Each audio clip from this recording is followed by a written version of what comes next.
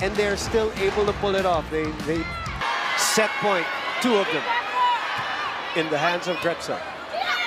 Gia. Sabete.